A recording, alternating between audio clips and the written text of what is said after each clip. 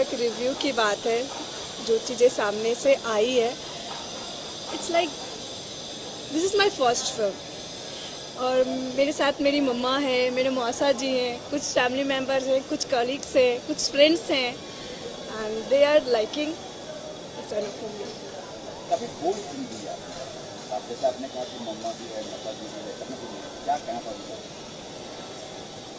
Bold scene देना और किसी कैरेक्टर को जस्टिफाई करना, बहुत फ़र्क होता है।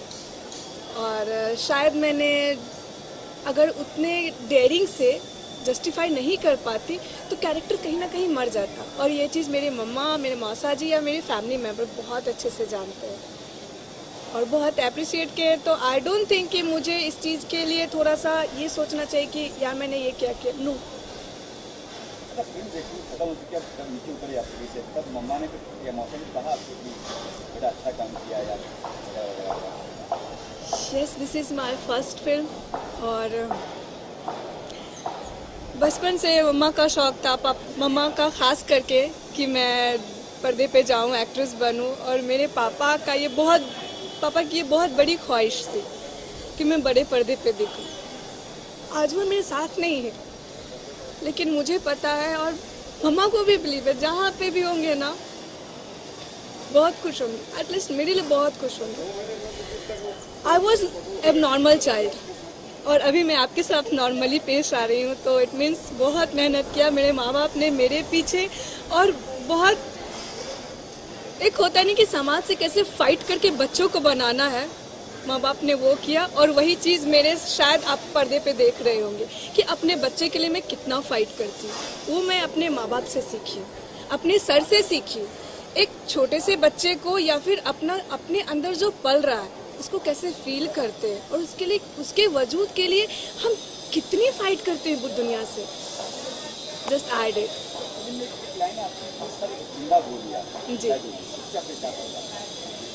फ़िल्म देखो मैं रियल लाइफ में बहुत स्ट्रांग लड़की और अपने डिसीज़न पे अडिग रहना कैसे आता है? आई नो दैट मेरे माँ बाप ने मुझे ऐसी परवरिश दी है बेटा जो करते हो ना लाइफ में एक सच्चाई के साथ करो एक मेहनत के साथ करो हमेशा गोल को पाओगे। और मुझे लगता है कि लाइफ में कुछ चीज़ें आप, अगर आपको अचीव करना है ना आपको उसके लिए जिद ठाननी पड़ेगी अगर नहीं किया ना, उस जिद के शिद्दत में थोड़ी सी भी कमी आई ना तो बैलेंस गड़बड़ा जाएगा। और जैसे मैं कैरेक्टर की बात करूँ, ठीक है, शादी के पहले एक फ़िज़िकल नीड्स होती है, हर किसी की होती है। पहले हमें हमारी शादी बचपन में हो जाया करती थी तो वो फ़िज़िकल नीड्स पूरी हो जाया करती थी। अभी हम अपने करियर ओरिएंटेड होते हैं गर्ल्स को बाहर जाना होता है सर्विस करना होता है, पढ़ाई लिखाई इतनी होती है और पूरे अभी ऑल ओवर वर्ल्ड पूरा ओपन है। तो उस चीज़ का इफ़ेक्ट कहीं ना कहीं हम गर्ल्स पे भी पड़ता है और हम इस चीज़ को डिनाई नहीं कर सकते। और एक बार जब वो प्यार किसी को सौंप दिया ना, उसके बाद वो सिर्फ़ और सिर्फ़ उसी की है। और वो डिसीज़न ले करके और आगे बढ़ना, पूरी लाइफ लॉन्ग उसको सच्चाई एक एक पवित्र रिश्ते की तरह आप निभाते हो ना, वो चीज़ इसमें दिखाया गया यस थोड़ी सी नर्वस भी हूँ। पब्लिक का रिव्यू क्या आता है? पब्लिक को कितनी पसंद आती है? मेरा कैरेक्टर कितना पसंद आता है? कॉन्सेप्ट जो वो कितना पसंद आता है? बेसिकली ये यूथ के लिए। एक यूथ के लिए और एक जो पेरेंट्स बन रहे हैं या पेरेंट्स हैं बच्चों के, तीनों के लिए। एक वाइफ हस्बैंड के लिए भी है, एक गर्लफ्रेंड बॉयफ्रेंड के लिए भी है, कि आप एक रिलेशन को, एक रिश्ते को कितने बारीकी से समझते हो, कितनी बारीकी से उसे निभाते हो, ये बहुत इम्पोर्टेंट होती है। अभी के एरा में हम फ्लिक नहीं कर सकते। हम फ्लिक कब करते हैं? जब हमारा इमोशनल अटैचमेंट कहीं नहीं होता। जब एक इमोशन में आ जाते हो ना, उसकी क्या फील होती है? ना एक सॉफ्ट फीलिंग आपको महसूस करना और इसे निभाना। बहुत मायने रखता है। और मुझे लगता है कि इस फ़िल्म से बहुत लोगों को बहुत अच्छी सबक मिलेगी बहुत अच्छी शिक्षा मिलेगी। मैडम आपके साथ चलते चलते क्या अपनी मम्मा को आप मिलवाना चाहोगे अ, of course why not sir मैं मम्मा के सामने कुछ भी नहीं मम्मा मेरी बहुत स्ट्रांग है। प्लीज़ माँ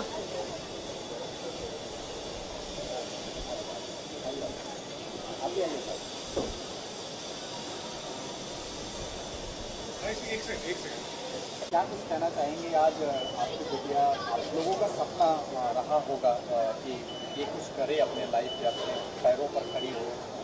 आज इतने बड़े पर्दे पर थर्टी फाइव सिनेमा स्कोप पे आपने अपनी बेटिया को देखा।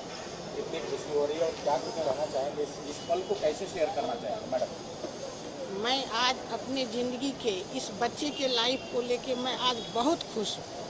क्योंकि इसने पापा की सपना ही नहीं, मैं अपने, मेरा धरोहर को भी आज इसने पूर्ण किया।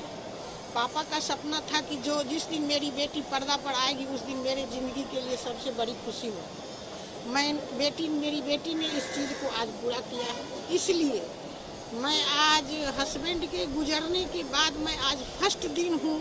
दिन है जो कि मैं आज खुश हूँ। आज फ़र्स्ट दिन है कि मैंने हँसी। इसलिए मैं बहुत खुश हूँ और मेरी बेटी जो है, मैं सात बच्चे की माँ हूँ, मेरी सात छह बेटियाँ हैं, एक बेटे हैं, जो कि प्रेरणादायक माँ तो नहीं बन सकती हुई तो आप लोग बताएँगे। लेकिन मैं अपने आप में संतुष्ट हूँ कि मैंने बच्चे को आज के दिन के अनुसार मैंने ये खुशी की आँसू। मैं रो नहीं रही हूँ। ये मेरी खुशी की आँसू है। क्योंकि इसने आज पापा की सपना को पूरा किया। अच्छा बचपन से लग रहा था कि हाँ ये कुछ बड़ा होकर कुछ करेगी बड़ा काम करेगी ऐसा लगता था बचपन ये बचपन से ही नाच गाने में ज़्यादा इंटरेस्टेड थी। और मैंने सारे बच्चे को जब से जिस चीज़ में जिस चीज़ में इंटरेस्ट हुआ, मैंने उसी में उस सबको प्रोत्साहन दिया और मेरे सारे बच्चे अपने अपने सब्जेक्ट में अपने अपने विषय में जो जिस चीज़ में इंटरेस्टेड थे, सब आगे बढ़े और सब अपने आप पर कॉन्फिडेंस रख के आगे बढ़े और अभी तक सक्सेस रहे। अच्छा जिस तरह से आपकी बेटी ने इस फ़िल्म में मज़बूत एक मज़बूत पक्के इरादों वाली लड़की का किरदार किया है। तो बचपन से जिस तरह से आप एक परवरिश की अपने बच्चे की। तो आपने जब फ़िल्म में देखा तो क्या मतलब आपको लगा कि मतलब आपकी आपकी जो परवरिश है सही रही? मैं अपने परवरिश पर बहुत विश्वास करती हूँ और जिस तरह से मैंने अपने बेटियों को प्रिफ्रेंस दिया आज तक मेरी बेटी बखूबी निभाई आगे ऊपर वाले की मर्ज़ी। मतलब आप ये कह सकते हैं कि बेटी बचाओ बेटी पढ़ाओ है एकदम एकदम एकदम। बेटी को सिर्फ़ बेटी के दृष्टि से देखने से ही बेटी कमज़ोर होती है। अगर बेटियों को जिस तरह से बेटे को देखा जाता है जिस नज़रिया से उस नज़रिया से अगर बेटी को देखा जाए तो बेटी किसी कदम में पीछे नहीं हट सकती। एक्साइटेड है? कितने खुश हैं आप? नहीं। जो है आज फ़िल्म रिलीज़ हुई आपने फ़िल्म देखा? नहीं ये एग्जाइटमेंट ही है कि हम वन थाउज़ेंड किलोमीटर दूर से जो है सिर्फ़ इसी काम के लिए आए कि नहीं बेटे का है? हाँ बेटी का है तो जाना है। हमें तो बहुत अच्छी लगी इसका काम बहुत अच्छा लगा। पूरे फ़िल्म में एक तरह से कहिए कि सोलो स्टार की तरह जो है एक मतलब एक होता है ना फ़िल्म की एक ही व्यक्ति के दमखम पे पूरी फ़िल्म। गाँव में गाँव में जाके फ़िल्म नहीं श्योर श्योर ठीक। बहुत अच्छा लगा। आज हमारे ज़िंदगी का सपना पूरा हुआ। पहला शो था फ़र्स्ट डे फ़र्स्ट शो तो बहुत खुश है कि पृथ्वी जी ने एक बहुत बोल्ड टॉपिक हिम्मत करके इसकी पिक्चर बनाई है। और बहुत अच्छी तरह से पूरी पिक्चर कंप्लीट होके रिले हुई है। तो जो मैसेज देना चाह रहे थे इस मूवी के दौरान, वो पिक्चर में साफ़ नज़र आ रहा है और काफ़ी लोग ये पिक्चर देख के खुश हुए। पिक्चर जब शुरू होती है तो ये सोच ही नहीं सकते कि इस टॉपिक पे पिक्चर है। तो टॉपिक के ऊपर बहुत इम्प्रेस हुए कि एक सोशल मैसेज देने वाली पिक्चर बनाई है और एक्टर्स ने बहुत उसको अच्छी तरह से दर्शाया है। तो सबका रिस्पांस अच्छा है। अच्छा, आज काफ़ी सारी फ़िल्म रिलीज़ हो रही है। क्या एक्साइटमेंट और नर्वस हो क्या लग रहा है आपको एज ए प्रोड्यूसर अभी इतनी तरह से हम लोग हम लोग इतने टाइम से स्ट्रगल कर रहे थे इस मूवी को रिलीज़ करने के लिए। इतनी डिफिकल्टीज हमने देखी है कि नर्वस तो बिल्कुल नहीं है एकदम इतने एक्साइटेड थे कि फाइनली ये दिन आएगा जब ये पिक्चर रिलीज़ हुई है। To the release and uh, lot of people have stood beside me and uh, God's blessings. खुशी की बात है एंड पहले दिन का पहला शो देखे हैं। 65-70 परसेंट कलेक्शन था। I am very happy about it जो लोगों ने देखे हैं उनका क्या रिएक्शन था क्या देखिए थीम अडल्ट है पिक्चर की। The poster attracts the youth युवा पीढ़ी यूथ को अट्रैक्ट करता है। बट चटपटे के साथ फ़िल्म में एक मैसेज है फ़िल्म में एक कहानी है। और 18 के ऊपर वाला कोई बच्चा अपने माँ बाप के साथ देखने के लिए फ़िल्म शर्माएगा नहीं। Sex is not wrong sex is not bad and sex is not cheap and sex is not vulgar this is what the film tells we here are not here to see a woman having sex we here are showing the we exploring the sexuality of a girl from a girl's point of view with due respect youngsters come is for you it's made by the youngsters please कम मिला है censor से। जी। Actors actors हैं। Set पे काम होता है। ये कहानी सुनी थे। कहानी को फिर फिल्माना था। तो जो सुने थे, तैयार थे, आके काम किए। और कोई बात नहीं। है बाकी थोड़ा सा कभी शर्म है। इसको शर्म नहीं कहेंगे। इसको हिंदी में हया कहते हैं। शर्म इंसान की तब होती है जब इंसान कोई गलत काम करे। हया एक आँख की शर्म बोलते हैं एक थोड़ा सा पर्दा होता है वो है तो हया तो आती है उसको मैनेज कर लेते हैं फिर। की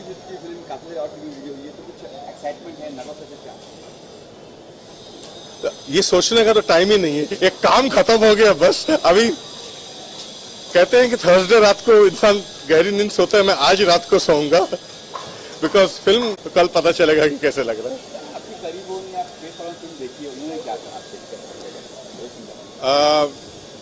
सुरेश ओबरॉय जो मेरे चाचा है, उन्होंने बोला कि फ़िल्म बहुत अच्छी तरीके से बताती है कि सिन और सिनर पाप और पापी में क्या फ़र्क है। ये उस फ़िल्म को बहुत अच्छे से बनाती है। विवेक, मेरे भाई ने जो देखा था, उसने आप सबको इंटरव्यू भी दिया था कि रिश्तों की पकड़ इस फ़िल्म में बहुत अच्छी है। उसको हक का रिश्ता गाना भी सबसे ज़्यादा अच्छा लगा। बाकी जो कुछ दोस्त थे मेरे, उन्होंने देखा, उन्होंने कहा, हम घर पे जाके अपनी पत्नियों से माफ़ी मांगेंगे और आज से एक अलग नज़रिए से देखेंगे। यूथ कदम उठाने और संभल के उठाने में क्या फ़र्क है, वो ये फ़िल्म दिखाती है? આજ અઢાર ઓક્ટોબર કેટલીક ફિલ્મ્સ એવી હોય જેને જોઈને તમને એમ થાય કે તમે અમથા અમથા જ પ્રેમમાં છો. લવની લવ સ્ટોરીઝ એમાંની જ એક ફિલ્મ લવ અને એની આસપાસની ત્રણ લવ સ્ટોરીઝની વાત કરવામાં આવી છે. અને બહુ ઓનેસ્ટલી કહું તો આ ફિલ્મમાં તમને સ્ટોરીમાં એટલા બધા શોક્સ કે ટ્વિસ્ટ કે એટલા ગ્રેટ ડાયલોગ્સ નહીં મળે.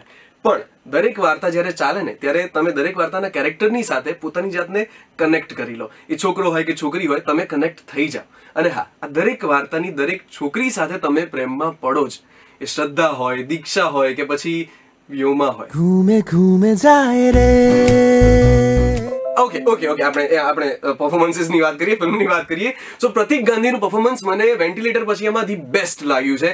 આ પ્રકારનું પરફોર્મન્સ એમણે પહેલી વાર કર્યું અને Pratik you just nailed it ખરેખર મજા પડી જોવાની. હા, એ વાત ખરી કે શરૂઆતની પંદર વીસ મિનિટ દરમિયાન તમને થાય કે પ્રતિક આ શું કરે છે? કેમ આ પ્રકારનું કરી રહ્યા છે? બટ ધીમે ધીમે જેમ વાર્તા આગળ વધે, તેમ અલગ અલગ ટ્રાન્ઝિશનમાં અલગ અલગ સ્ટોરીમાં એમની બોડી લેંગ્વેજ ચેન્જ થાય છે હેરસ્ટાઇલ ચેન્જ થાય છે. અને એમાં એ કેરેક્ટર વધારે મજબૂત બનતું જાય છે. બાકીના કેરેક્ટર્સમાં દીક્ષાએ પોતાના કેરેક્ટરને પ્રોપરલી નિભાવ્યું છે. ધી બેસ્ટ જો અત્યારે કોઈએ કર્યું હોય આ પ્રકારનું કેરેક્ટર તો એ દીક્ષા છે. એના પછી શ્રદ્ધાએ પોતાના કેરેક્ટરના ફ્લેશ બહુ બ્યુટીફુલી સાચવ્યા છે અને વ્યોમાએ પોતાના કેરેક્ટરને એક સરસ ચામ આપેલો છે. સો મારા મતે હા, એક વાત હજી રહી ગઈ કે સેકન્ડ હાફમાં છે ને ફિલ્મ થોડી સ્ટ્રેચ થતી હોય ને એવું લાગે છે. સેકન્ડ હાફ જ્યારે લગભગ અડધો એક કલાકનો થાય ને ત્યારે થાય કે બસ યાર, હવે કંટાળો આવે છે. પણ મ્યુઝિક છે, એના ડાયલોગ્સ છે, એની એની ફ્રેમ્સ છે કલર્સ છે લાઇટિંગ્સ છે, એના લીધે તમે સાવ ફિલ્મથી છૂટા નથી પડી જતા. સાથે પાર્થ ભગત ઠક્કરનું મ્યુઝિક એમાં સ્પેશિયલી ઘૂમે ઘૂમે જાય રે ગીત, અને એમાંય નીરેન ભટ્ટના શબ્દો. સો આ બેસ્ટ કોમ્બિનેશન તમને રેરલી મળે કે જે દરેક વખતે હિટ જાય, અને આમાં એ હિટ ગયું જ છે. ખાસ વાત મારે તમને છેલ્લે છેલ્લે કરવી છે કે આ ફિલ્મમાં તમને વિઝ્યુઅલ ટ્રીટ બહુ સારી આપવામાં આવી છે. તમને સતત એક સ્માઇલ ચહેરા ઉપર રહે એના કલર્સ બહુ સરસ છે, બહુ જ દિમાગથી આના કોસ્ટ્યુમ્સને ડિઝાઇન કરવામાં આવ્યા છે, નિકી જોશીએ કર્યા છે. અને નિકી, તમે બહુ જ સરસ કામ કર્યું છે. સ્પેશિયલી દીક્ષાના કોસ્ટ્યુમ્સ મને સૌથી વધારે ગમે. એક એક એમાં માઇન્ડફુલનેસ દેખાય છે. સો યા ઓવરઓલ મારા મતે લવની love stories is a worth watch તમે પ્રેમમાં હો કે પછી બ્રેકઅપ થયું હોય કે રિલેશનશિપમાં હમણાં જ આવ્યા હો કે ક્યારે પડ્યા ના હો તમને આ ફિલ્મ જોવાની મજા પડશે worth watch according to me bye घूम